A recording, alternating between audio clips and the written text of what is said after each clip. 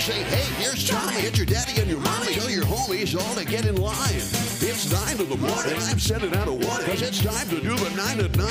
So let's get right to it. Because it's time to do it. Gonna happen, uh, rain or shine. So let's all get together. But before we do the weather, we're gonna jump into the 9 at 9. 9 at 9. 9 at 9. 9 at 9. 9 at 9. My my. All right, number nine. I'm sure we all remember Little Hercules. That's what the internet called young Richard Sandrak. He was born in Ukraine, but his family moved to the U.S. when he was two. His father was a martial arts champion, and his mother was an aerobics competitor, and they had him benching 200 pounds by age eight.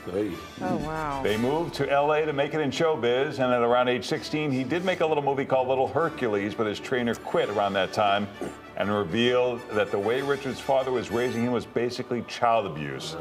Got pretty ugly, and the father wound up in jail for some other things. The good news is Richard seems to be okay. He's about 31 now. And he stopped working out so much uh, a while back. There were reports he was a stuntman at Universal Studios, but it's not clear what he is doing today. Huh. Wow. Pace yourselves. Yes. Is the story on that one. All right, number eight, as you can see from this old photo, before telephoto Oh my gosh. Photographers had to get very close to the That's action wild. on the baseball field. In fact, photographers often got to know players and coaches better than the sports writers, who didn't really go into the locker rooms nearly as much as they do today. Uh, this last photo is courtesy of the University of Chicago alumnus uh, Earl Payne. He captured this image right after the first, uh, the Major League's first nighttime pitch at Crosley Field in Cincinnati in 1935. I had no idea that they stood No. that or sat that Wow. close. on. Wow. Okay, cool. Number seven, a travel expert is sharing her tips on TikTok. Her name is Daisy Whitlow, and she used to work for British Airways. So Daisy says people should pack a maximum of 35 items for a trip. Oh, I like that. 35 items. But I wonder how long, you know, depends how long it is, though, right? Here are her hacks for making things fit. Roll up a pair of socks with two pairs of underwear inside. Fold bras inside dresses and shirts, rolled from bottom to top. She says store swimwear in a Ziploc bag. And here's a tip that most people don't do enough edit your shoes. People pack way too many Yeah. shoes. That is Yeah. the truth. Yeah. I'm guilty. Yeah, I'm guilty of that too. They add unnecessary weight to your bag. You probably won't need them or use them. Yeah.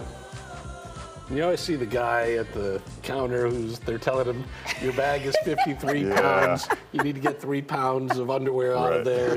He's looking at his wife. Have you ever seen that uh, when they, you know, they, they actually sometimes force you to put the carry-on luggage Oh, yeah. in the thing, and these people are trying to like stuff Right. it in there to say like, oh yeah, Yeah, yeah, it's not gonna work. Yeah, probably not.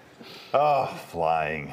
So much fun. Number six, I'm pretty sure people will have an opinion on this. An investor and tech guy named Sheel Mohnot posted about a night where all of your friends make a presentation on what they do at work and answer questions. I don't know much about what many of my friends do for a living, so he's essentially proposing a PowerPoint party. It's kind of like a game night, except you explain to everyone what your job is all about. A lot of people find the idea ridiculous, but many others think it's kind of cool and say they enjoy learning new things and especially like to know more about their friends and their jobs. I like the idea. Yeah, I do too. I don't like a PowerPoint, but No. there's some way to make it a little bit more compelling. Because I feel like everybody knows what we do because you can Yeah, see you it, can but see you it, know, yeah. yeah. Yeah. Yeah, I like that. All my friends had these different financial jobs, and they explained to me husband, five like, I don't know times. what I, Right. I still don't understand what they do. Yeah, I'm with no, you on that. No. Uh, number five, having trouble putting an outfit together. Try a shirt sandwich. Oh yeah, these are really Oh, see, great. Paul, you, you already knew about know this. I about the can't shirt break any sandwich, yeah. fashion news to you. Read about it on reclaire.com. It's a layering technique, a lightweight turtleneck on the bottom, a knit layer in the middle, and a third button-down shirt or blazer on top. Sounds kind of warm. It's basically a little trick to make you look a bit more put together. Bonus if you play with different color combinations or patterns. Right, number four, coming up in a few minutes, we're talking to the director of the outrageous new movie that fans can't get enough of Hundreds of Beavers. Uh, so let's share some beaver facts. Uh, beavers secrete a special goo that smells like a musky vanilla. Oh, I love vanilla. Yeah, it's called castoreum. Uh, it's a chemical found in the beaver's castor sacs. Well, let's not get too personal here. It's located under their tails. Oh. The goo itself is kind of brownish and thick like molasses. Uh, the Romans burned it in uh, their night lamps. Uh, trappers use it to lure animals. Even the FDA approved it to be used in a perfume to add a little bit of a sweet scent. So how about that? Wow. That'd be a, a great name for a minor league baseball team, the this- Castor Sacks. I was thinking the same thing. Well, great minds think alike, Senators then, take guys. on the Castor Sacks tomorrow at three. Definitely buy tickets to that. Uh, number three, Amazon has announced they're phasing out their checkout less grocery stores.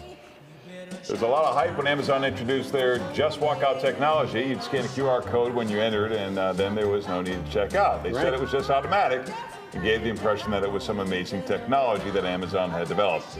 That magically knew when you were taking it out of the store. But what the tech really was was more than a thousand employees in India watching you as you walked through the store to make sure you were charged for everything. Huh. So they didn't really get rid of cashiers. They they just moved them offshore and paid them less as they watched cameras all day. I did not know that. Hmm. I thought it was just some sort of like scanner Yeah. thing or something Yeah, like I did that. too. Wow. All right, number two, let's talk about Carbondale. It's the solar eclipse epicenter. You'd normally have to wait 400 years for a total eclipse to take place where you live. And it's unlikely you'd never you'd see it twice in seven years. That's why conspiracy theorists and doomsdayers have all sorts of thoughts on the upcoming April 8th event. Yeah. They usually do. They believe it could bring destruction or doom. Yeah. A bunch of these theories have been fueled by movies like Leave the World Behind. Yeah. That had absolutely no scientific backing. Yeah. People I like a good conspiracy theory. at- usually ends in doom and destruction, apocalyptic. Yeah. like. Yeah. Always, Let's it's keep like, it yeah. interesting. Yeah, yeah. Keep it, right. keep it positive. Uh, number one, everyone loves uh, Paul Rudd.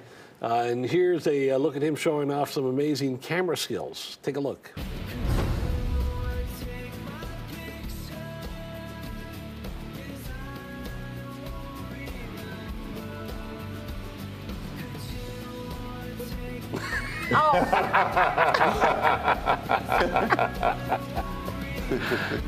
That's why someone here hasn't come up with that Yeah. yet, you know?